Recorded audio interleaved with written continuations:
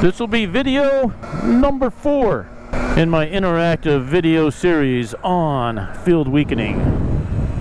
This one's all about ratios and speed. So I'm going to try to do a test here based on stuff I've read, learned, and heard.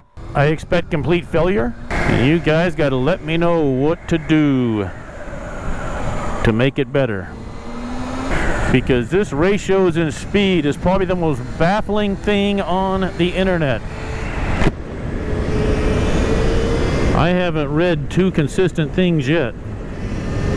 I set out to completely prove field weakening wrong, to prove it was a myth. Only I was wrong, but fortunately it's not a myth, so the bike went faster. One guy said, leave the field weakening completely off. Go out and just run top speed and see where the bike stabilizes. I've got weak response, seven, none. Ratios and speed, 100% everywhere. 7700 weak light on, 100 and, so I've already got the weak light, but that's fine. I'm just gonna let it stabilize. Full throttle weak response completely off. I'm going 88, 86, 87. Now I'm going to turn field weakening on and I should be able to go faster. Okay, weak response. I'm going to put it all in zero. All these are 100% still. See if I can beat my 87 miles an hour. 89, 91, 90. It's working, guys.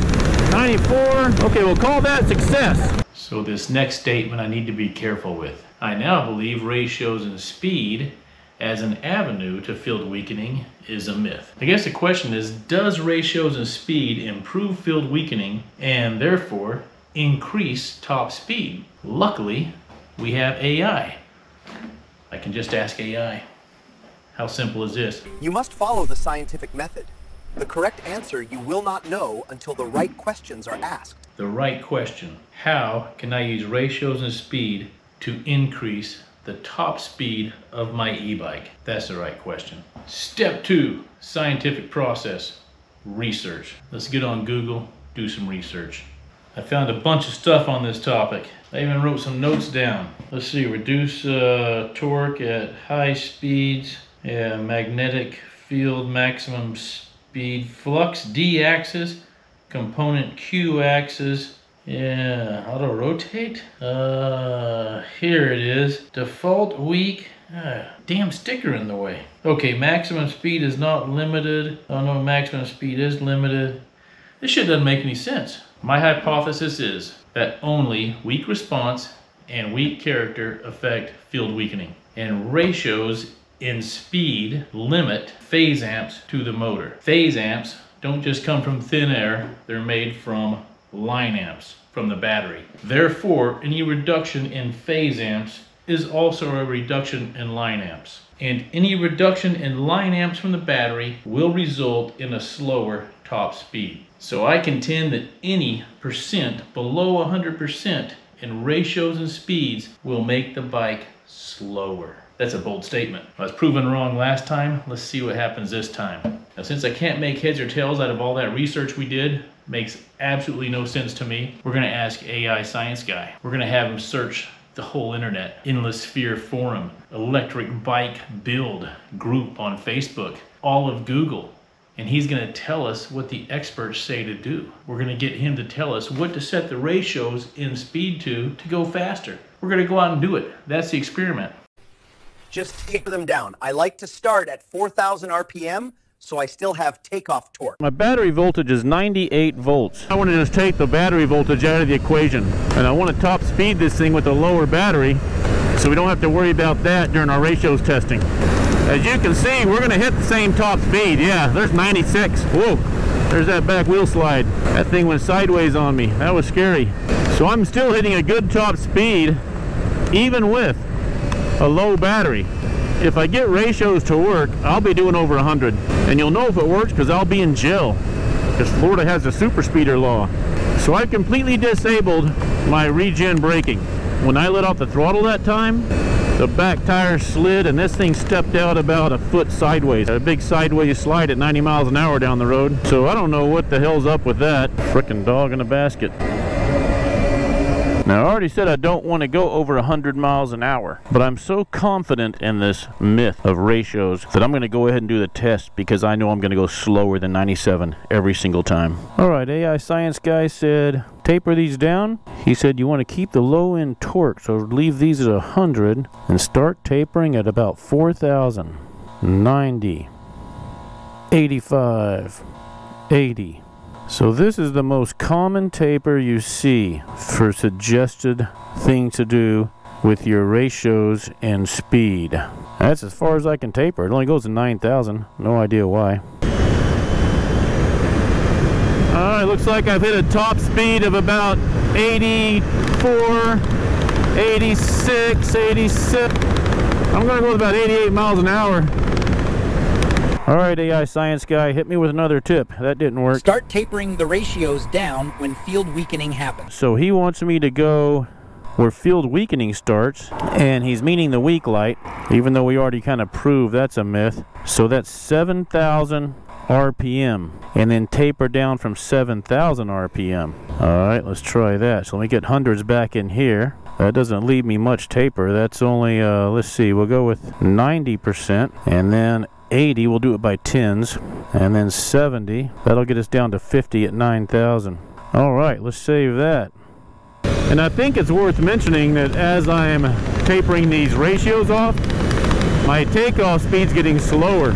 So yeah, 77, 78, she's not going much more, 82, 81, 82, 81. And when I open the throttle, it really chops around bad, 84.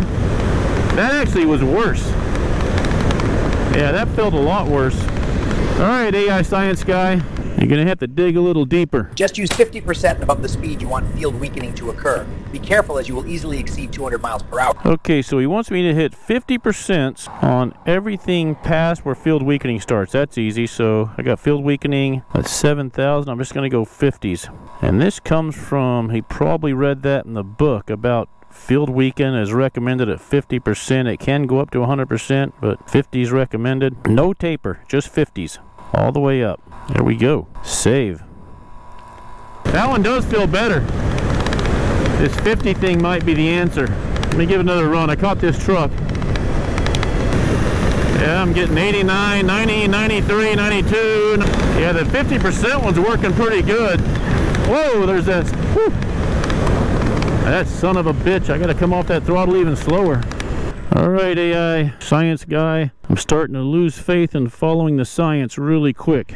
So hook a brother up with another one. Only reduce phase amps ratios to increase the depth of field weakening to RPM where you want to go faster. All right, so he wants me to just put the field weakening in where I want to go faster. Well, I obviously want to go faster at 97 miles an hour. So I'd want to run a hundreds to everything.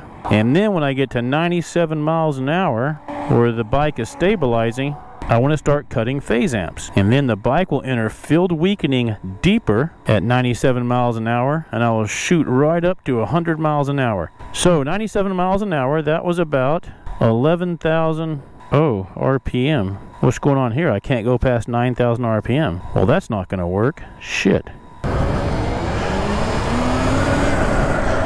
Yeah, none of this crap is working. I've got to stop following the science. When COVID happened, Florida didn't follow the science. They were like, we ain't wearing no mask, we ain't taking no shots, we ain't doing shit, bro. And hell, they fared just as well as everyone else. So I'm gonna quit listening to this AI science guy. He don't know what the hell he's talking about. I gotta find someone that has absolutely no scientific background. Someone that skipped every science class ever. And then get some advice on what to do with these ratios. Ah, there we go. A Florida Circle K. Yeah, that's the place. There's all sorts of guys here with no education spending their EBT cards on big gulps and lottery tickets. I'm going to go in here and ask for some advice on how to set these ratios. Load up. Turn and burn, baby. Kick it all the hundos and ride. Okay, so Florida man says just open them all up to 100%, and we've already got a test doing that. I went 97 miles an hour. So we're back to where we started. I think I solved the back wheel slide though. Thanks, Lou. Yeah, so I had throttle disabled, but I still did have amp set in the regen. So even with amps in the regen and EABS disabled, I was still getting the crazy wheel slide. So it just passed the 80 mile an hour test. Let me try it at 90. I'm scared. All right, coming off this thing. Oh yeah, that was smooth. Okay, cool. Now comes a time in the scientific method where we have to accept or reject the hypothesis. But you have to be really careful here, super careful, because what I created was a null hypothesis. A hypothesis that predicted that the inputs would not have an outcome, that adjusting ratios and speed would not increase the speed of the motorcycle. So before we can draw a conclusion, we need an alternate hypothesis, a hypothesis that directly contradicts the null hypothesis. And that would be, does adjusting ratios and speed increase the speed of the motorcycle? Yes or no? And did we test if that statement is true? Now it seems like we did, when what we actually did was we failed to reject a null hypothesis that is probably false. We accepted a hypothesis after my testing that increasing ratios and speed will not make you faster, but we should have rejected it. This is a type 2 error in the scientific method. And so this is at a point I think where a lot of us are at, me included. A lot of us are at this point where we tried ratios, we've had a negative outcome, and we're gonna go with Florida Man, and we're gonna turn and burn because using the Florida Man's advice, we've gotten better results. The correct answer you will not know until the right questions are asked. So more specifically, when ratios are set correctly, will it yield a higher top speed than when set at all 100s? We didn't prove that one correct. We didn't reject it either. And we can't reject it because we don't know if we set ratios correctly. We don't know that. And until we know that, then we can't accept the null hypothesis. We also have to ask ourselves if there are any external variables. External variables that threw off the results of our test that we weren't aware of. And I am aware of a couple that I need to fix, but I'm willing to overlook it to accept this null test. That's bad scientific method.